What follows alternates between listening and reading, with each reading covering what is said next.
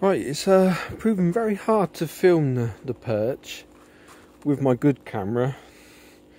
Um, so what I've done is I got this on a weight and I put the camera in here and I dangled that down and it's like this in the water and I left it there for hours and then I come out, got it out again, uh, started the record button and dropped some some worms in and um, film that way. I mean, I haven't looked, a look at the film yet, but I've just taken the camera out. It's still wet. I've just taken the camera out, and I should sort of um, have a look at the, the, the actual film, see if it's usable. Do they actually feed? All the worms are gone. I can see they're gone in there.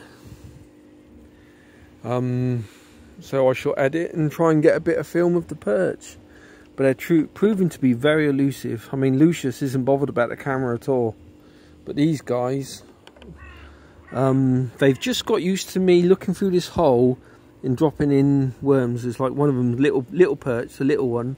I calls him little perch. He's looking up at me now. I can see him. They've got used to this hole because I feed him through there. Um, but we'll see how this goes anyway. Like I said, it's suspended up in the air like that and I press record button and I'll, I'll, go in now and edit what I've got and put it on. Hopefully we've got some footage of the perch feeding. North.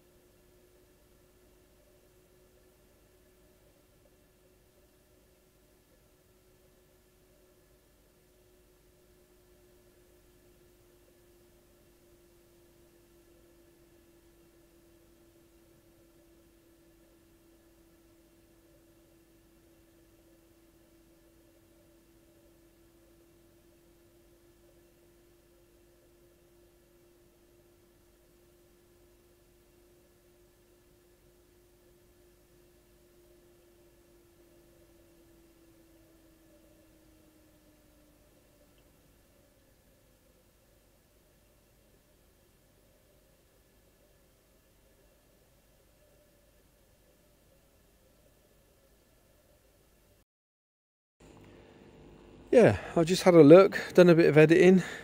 I'm quite pleased with that. They're definitely behaving more normally with just the camera hanging in the water like that, um, rather than with the lid off and everything else.